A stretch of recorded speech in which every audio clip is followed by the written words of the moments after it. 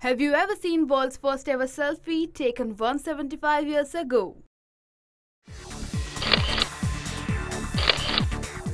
Now selfie trend has taken everyone by storm. But do you know who we all are following? Robert Cornelius, who is believed the creator of selfie, took the world's first ever photographic self-portrait 175 years back in Philadelphia.